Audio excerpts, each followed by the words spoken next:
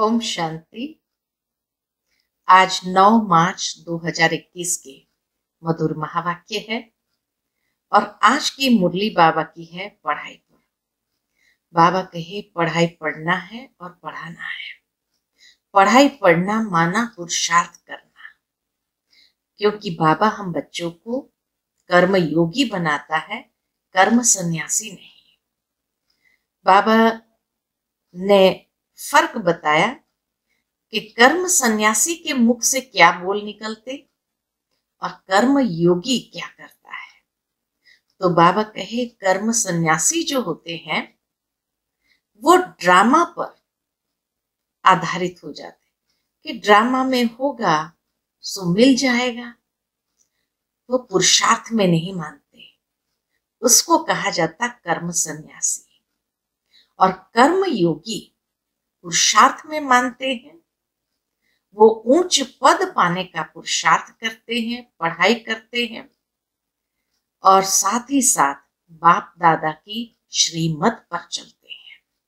सुनते हैं बाबा के मधुर महावाक्य। ओम शांति। मीठे बच्चे, चुप रहना भी बहुत बड़ा गुण है। तुम चुप रहकर बाप को याद करते रहो। तो बहुत कमाई जमा कर लेंगे। प्रश्न है, कौन से बोल कर्म सन्यासी को सिद्ध करते हैं? वह बोल तुम नहीं बोल सकते। उत्तर है, ड्रामा में होगा तो कर लेंगे। बाबा कहते, यह तो कर्म सन्यास हो गया। तुम्हें कर्म तो अवश्य करना है। बिना पुरुषार्थ के तो पानी भी नहीं मिल सकता। इसलिए ड्रामा कहकर छोड़ नहीं देना है। नई राजधानी में ऊंच पद पाना है। तो खूब पुरुषार्थ करो। ओम शांति। पहले पहले बच्चों को सावधानी मिलती है। क्या सावधानी मिलती है? बाप को याद करो। और वर्षे को याद करो। मन मना भव। यह अक्षर भी व्यास ने लिखा है। गीता में दो बार ये अक्षर आता है।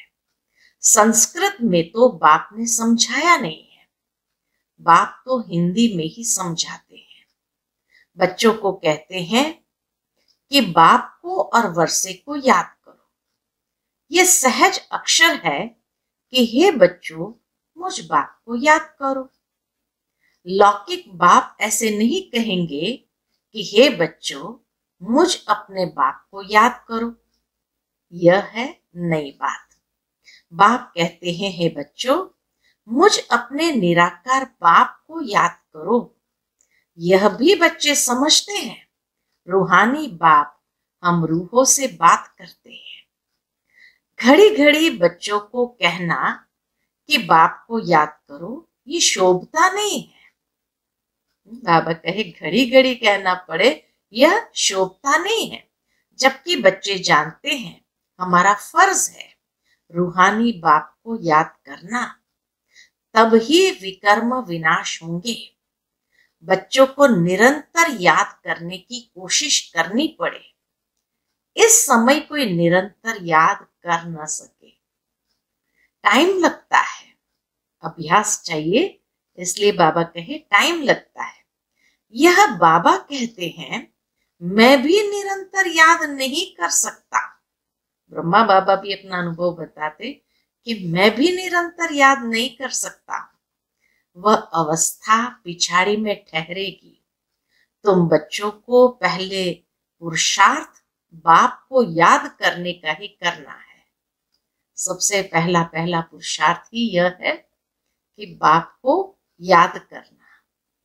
शिव बाबा से वर्षा मिलता है, भारतवासी की ही बात है, ये स्थापना होती है दैवी राजधानी की। और जो धर्म स्थापन करते, उसमें कोई डिफिकल्टी नहीं होती है, क्योंकि वो तो ऊपर से आए, अपना धर्म स्थापन किया, पीछे आत्माएँ नीचे उतरती जाती है। यहाँ तो बाबा को धर्म स्थापना के साथ सबको सदगति में ले जाना है। तो इसीलिए बाबा के पिछाड़ी कोई आत्माएँ उतरने वाली नहीं है।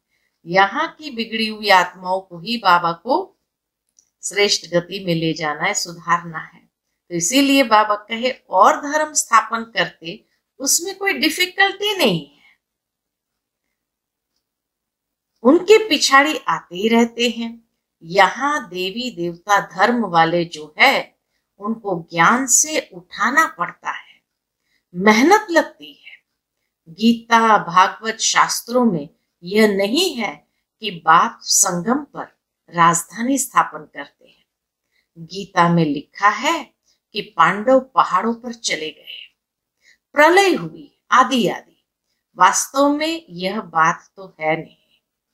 तुम अब पढ़ रहे हो भविष्य 21 जन्मों के लिए और स्कूल में यहाँ के लिए ही पढ़ाते हैं। और स्कूलों में तो जो पढ़ाई होती है, पद होता है, वो यहाँ के लिए, इसी दुनिया के लिए होता है। तो और स्कूलों में यहाँ के लिए ही पढ़ाते हैं।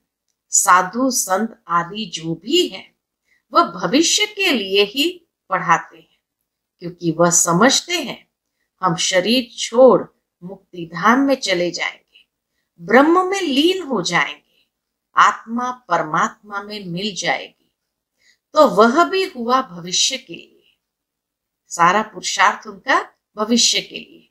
परंतु भविष्य के लिए पढ़ाने वाला एक ही रूहानी बाप है, दूसरा कोई नहीं। गाया हुआ भी है, सर्व का सदगति दाता एक ही है। वह तो सब अयथार्थ हो जाता है। दुनिया में जो पढ़ाते हैं, वह तो सब अयथार्थ हो जाते हैं।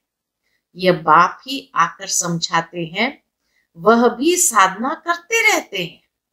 ब्रह्म में लीन होने की साधना है अयथार्थ। लीन तो किसी को होना नहीं है। ब्रह्म महतत्व कोई भगवान नहीं है। यह सब है रॉन्ग झूठ खंड में है, सब झूठ बोलने वाले। सच खंड में है, सब सत्य बोलने वाले। तुम जानते हो, सच खंड भारत में था, अब झूठ खंड है। बाप भी भारत में ही आते हैं। शिव जयंती मनाते हैं, परंतु यह थोड़ी जानते कि शिव ने आकर भारत को सचखंड बनाया है। वह समझते हैं, आता ही नहीं है। वह नाम रूप से न्यारा है। सिर्फ़ महिमा जो गाते हैं, पतित पावन ज्ञान का सागर, सो ऐसे ही तोते मिसल कह देते हैं। परिचय कुछ भी नहीं है। बाप ही आकर समझाते हैं। कृष्ण जयंती मनाते हैं, गीता जयंती भी है, कहते हैं कृष्ण ने आकर गीता सुनाई। शिव जयंती के लिए किसको पता नहीं कि शिव क्या आकर करते हैं? आएँगे भी कैसे? जबकि कहते हैं, नाम रूप से न्यारा है। बाप कहते हैं, मैं ही बैठ बच्चों को समझाता हूँ। फिर यह ज्ञान प्राय लोप हो जाता है। बाप खुद बतलाते हैं कि मैं आकर भारत को फिर से स्वर्ग बनाता हूँ। कोई तो पतित पावन होगा ना? मुख्य भारत की ही बात है। भारत ही पतित है। पतित पावन को भी भारत में ही पुकारते हैं। खुद कहते हैं, विश्व में शैतान का राज्य चल रहा है। खुद मनुष्य कहते हैं, विश्व में शैतान का राज्य चल रहा है। बॉम्ब्स आदि बनाते रहते हैं। उनसे विनाश होना है। तैयारियाँ कर रहे हैं, जैसे वह रावण के प्रेरित किए हुए हैं। रावण का राज्य कब खलास होगा? भारतवासी कहेंगे, रावण का राज्य कब खलास होगा? भारतवासी कहेंगे, जब कृष्ण आएगा। तुम समझाते हो, शिव बाबा आया हुआ है। वही सर्व का सदगति दाता है। बाप कहते हैं, मुझे याद करो यह अक्षर दूसरा कोई कह ना सके। मुझे याद करो ये अक्षर दूसरा कोई कह न सके। बाप ही कहते हैं, मुझे याद करो तो खाद निकलेगी। तुम सतो प्रधान थे, अब तुम्हारी आत्मा में खाद पड़ी है। वह याद से ही निकलेगी।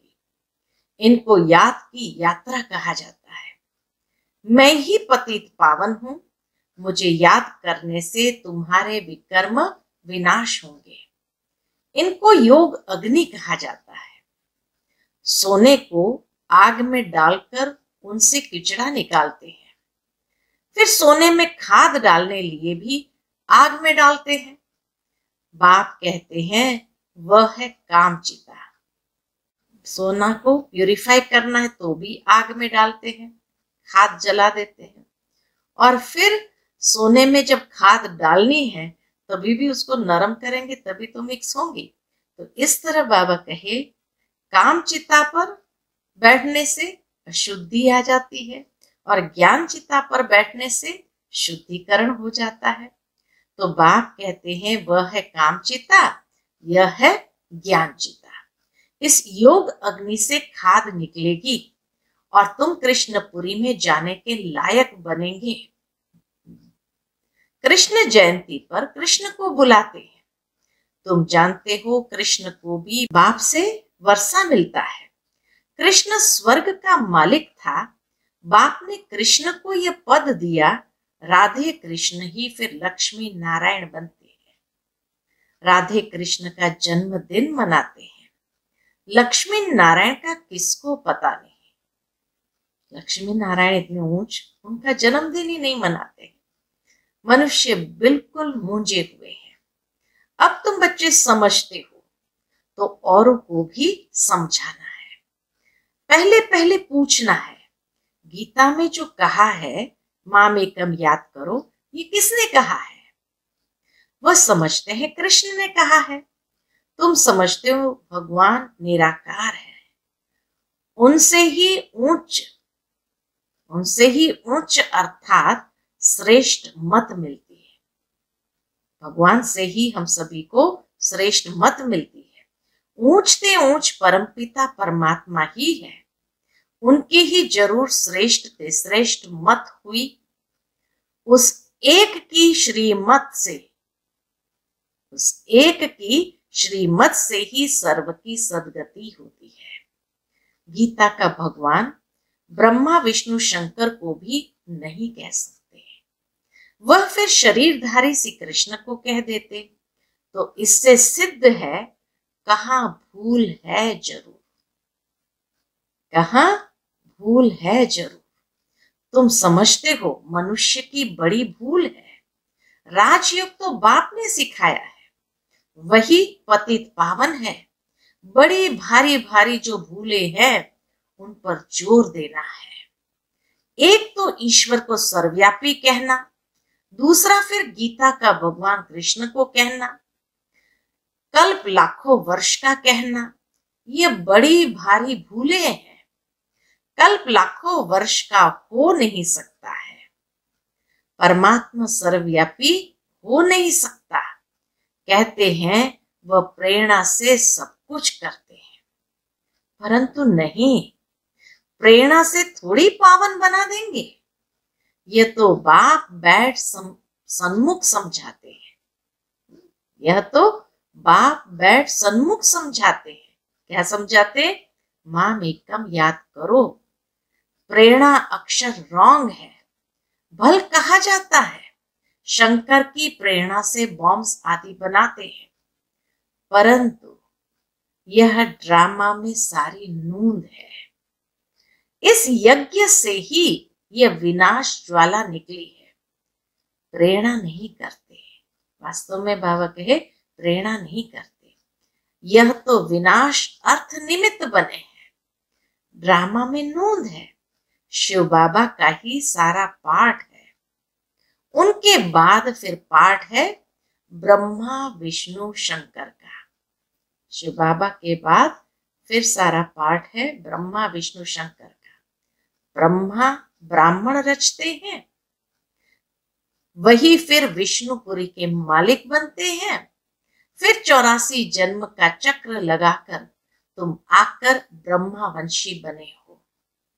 लक्ष्मी नारायण सो फिर आकर ब्रह्मा सरस्वती बनते हैं। यह भी समझाया है कि इन द्वारा एडॉप्ट करते हैं, इसलिए इसको बड़ी मम्मा कहते हैं। ब्रह्मा को बड़ी मम्मा कहते हैं। वह फिर निमित्त बनी हुई है। कलश माताओं को दिया जाता है। सबसे बड़ी सितार सरस्वती को दी है। सबसे तीखी है। बाकी सितार व बाजा आदि कुछ है नहीं। सरस्वती की ज्ञान मुरली अच्छी थी। सितार मना सरस्वती की ज्ञान मुरली अच्छी थी। महिमा उनकी अच्छी थी। नाम तो बहुत डाल दिए हैं। देवियों की पूजा होती है। तुम अभी जानते हो, हम ही यहाँ पूज्य बनते हैं। फिर पुजारी बन अपनी ही पूजा करेंगे। अभी हम ब्राह्मण हैं, फिर हम ही पूज्य देवी देवता बनेंगे। यथा राजा रानी तथा प्रजा। देवियों में जो उच्च पद पाते हैं तो मंदिर भी उन्हों के बहुत बनते हैं। नाम बाला भी उन्हों का होता है, जो अच्छी रीति पढ़ते, पढ़ाते हैं। तो अब तुम जानते हो, पूज्य पुजारी हम ही बनते हैं। शिव बाबा तो सदैव पूज्य है। सूर्यवंशी देवी देवता जो थे, वे ही पुजारी, फिर भगत बनते हैं।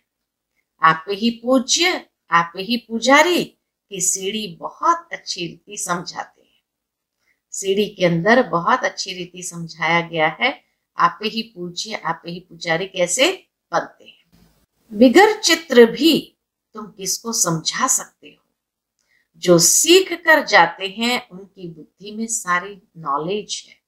चौरासी जन्म की सीढ़ी भारतवासी चढ़ते उतरते हैं। उन्हों के चौरासी जन्म है। पूज्य थे फिर हम पुजारी बने। हम सो सो हम का अर्थ भी तुमने बहुत अच्छी तरह समझा है। आत्मा सो परमात्मा हो न सके। बाप ने हम सो सो हम का अर्थ समझाया है। हम सो देवता, सो क्षत्रिय, सो वैश्य, सो शूद्र, सो ब्राह्मण। हम सो का दूसरा कोई अर्थ है नहीं। पूज्य पुजारी भी भारतवासी ही बनते हैं और धर्म में कोई पूज्य पुजारी नहीं बनते हैं। तुम ही सूर्यवंशी, चंद्रवंशी बनते को समझाने कितनी अच्छी मिली है। हम सो देवी देवता थे, हम आत्मा निर्माण धाम में रहने वाली है। यह चक्र फिरता रहता है। जब दुख सामने आता है तो बाप को याद करते हैं। बाप कहते हैं, मैं दुख के समय ही आकर सृष्टि को बदलता हूँ। ऐसे नहीं कि नई सृष्टि रचता हूँ। नहीं। पुराने को नया बनाने मैं आता हूँ। बाप आते ही है संगम पर। अब नई दुनिया बन रही है। पुरानी खलास होनी है। यह है बेहद की बात। तुम तैयार हो जाएँगे तो सारी राजधानी तैयार हो जाएगी। सारा मदार हमारे ऊपर है तो बाबा के तुम तैयार हो जाएँगे तो सारी राजधानी तैयार हो जाएगी। कल्प कल्प जिन्होंने जो पद पाया है, उस अनुसार पुरुषार्थ चलता रहता है। ऐसे नहीं, ड्रामा में जो पुरुषार्थ किया होगा, सो होगा। पुरुषार्थ करना होता है, फिर कहा जाता है कल्प पहले भी ऐसे पुरुषार्थ किया था। हमेशा पुरुषार्थ को बड़ा रखा जाता है। प्रालब्ध पर बैठ नहीं जाना है। पुरुषार्थ बिगर प्रालब्ध मिल न सके। पुरुषार्थ करने बिगर पानी भी नहीं पी सकते। पीने का भी तो पुरुषार्थ करना पड़ता है। कर्म संन्यास अक्षर रॉन्ग है। बाप कहते हैं गृहस्थ व्यवहार में भी रहो, बाबा सबको यहाँ तो नहीं बिठा देंगे। शरणागति गाई हुई है। बट्ठी बननी थी क्योंकि उन्हों को तंग किया गया। तो आकर बाप के पास शरण ली। शरण तो देनी पड़े ना। शरण एक परम पिता परमात्मा की ही ली जाती है। गुरु आदि की शरण नहीं ली जाती। जब बहुत दुख होता है तो तंग होकर आकर शरण लेते हैं। गुरुओं के पास कोई तंग होकर नहीं जाते हैं। वहाँ तो ऐसे ही जाते हैं। तुम रावण से बहुत तंग हुए हो। बाबा कहे, तुम रावण से बहुत तंग हुए हो। अब राम आया है, रावण से छुड़ाने। वह तुमको शरण में लेते हैं। तुम कहते हो, बाबा, हम आपके हैं। गृहस्थ व्यवहार में रहते भी शरण शिव बाबा के लिए है। बाबा, हम आपकी ही मत पर चलेंगे। बाप श्रीमत देते हैं, गृहस्थ व्यवहार में रहते मुझे याद करो और सबकी याद छोड़ दो। मेरी याद से ही विकर्म विनाश होंगे। सिर्फ़ शरण लेने की बात नहीं है, सारा मदार याद पर है। बाप के सिवाय ऐसा कोई समझा न सके। बच्चे समझते हैं बाप के पास इतने लाखों कहाँ आकर रहेंगे। प्रजा भी अपने अपने घर रहती है, राजा के पास थोड़ी रहती है। तो तुमको सिर्फ़ कहा जाता है, एक को याद करो, बाबा हम आपके हैं। कहा जाता है, एक को याद करो, बाबा, हम आपके हैं। आप ही सेकंड में सदगति का वर्षा देने वाले हो। राजयोग सिखाकर राजाओं का राजा बनाते हैं। बाप कहते हैं, जिन्होंने कल्प पहले बाप से वर्षा लिया है, वही आकर लेंगे। पिछाड़ी तक सबको आकर बाप से वर्षा लेना है। अभी तुम पतित होने के कारण अपने को देवता कहला नहीं सकते। बाप सब बातें समझाते हैं। कहते हैं, मेरे नूरे रत्न, जब तुम सतयुग में आते हो तो तुम वन वन से राजाई करते हो। औरों की तो जब वृद्धि हो, लाखों के अंदाज में हो, तब राजाई चले। तुमको लड़ने करने की दरकार नहीं। तुम योग बल से, बाप से वर्षा लेते हो। चुप रहकर सिर्फ़ बाप को और वर्षे को याद करो। पिछाड़ी में तुम चुप रहेंगे, फिर यह चित्र आदि काम नहीं आएँगे। तुम होशियार हो जाएँगे, बाप कहते हैं, सिर्फ़ मुझे याद करो तो विकर्म विनाश होंगे। अब करो न करो, तुम्हारी मर्ज़ी। कोई देहधारी के नाम रूप में नहीं फंसना है। बाप को याद करो तो अंत मते सुगति हो जाएगी। तुम मेरे पास आ जाएँगे। फुल पास होने वाले को राजाई मिलेगी। सारा मदार याद की यात्रा पर है। आगे चल, नए भी बहुत आगे निकलते जाएँगे। वरदान है बाबा का नए बच्चों को आगे चल, नए भी बहुत आगे निकलते जाएँगे। अच्छा मीठे मीठे सिकिलते बच्चों प्रति मात पिता बाप दादा का याद, प्यार और गुड मॉर्निंग। रूहानी बाप की, रूहानी बच्चों को नमस्ते। हम सब रूहानी बच्चों की, रूहानी मात पिता बाप दादा को याद, प्यार, गुड मॉर्निंग और नमस्ते नमस्ते। शुक्रिया बाबा, शुक्रिया। आज की मुरली से धारणा के लिए मुख्य सार है पहली पॉइंट किसी देहधारी के नाम रूप में नहीं फंसना है। एक बाप की श्रीमत पर चलकर सदगति को पाना है, चुप रहना है। दूसरी पॉइंट भविष्य 21 जन्म के लिए अच्छी रीति पढ़ना और दूसरों को पढ़ाना है। पढ़ने और पढ़ाने से ही नाम वाला होगा। आज का वरदान अपने स्वस्वरूप और स्वदेश के स्वमान में स्थित रहने वाले मास्टर लिबरेटर भव। अपने स्वस्वरूप और स्वदेश के स्वमान में स्थित रहने वाले मास्टर लिबरेटर भव। आजकल के वातावरण में हर आत्मा किसी न किसी बात के बंधन वश है।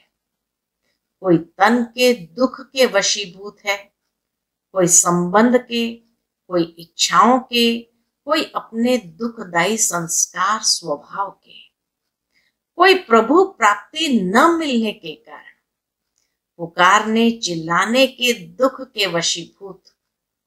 ऐसे दुख अशांति के वश आत्माएँ अपने को लिबरेट करना चाहती है तो उन्हें दुखमय जीवन से लिबरेट करने के लिए अपने स्वस्वरूप और स्वदेश के स्वमान में स्थित रहे। रहमदिल बन, मास्टर लिबरेटर बन। स्वस्वरूप, स्वदेश के स्वमान में स्थित रहे रहमदिल बन, मास्टर लिबरेटर बनो। आज का स्लोगन है बाबा का सदा अचल अडोल रहने के लिए एक स्थिति के आसन पर विराजमान रहो। सदा अचल अडोल रहने के लिए एक स्थिति के आसन पर विराजमान रहो। अच्छा ओम शांति।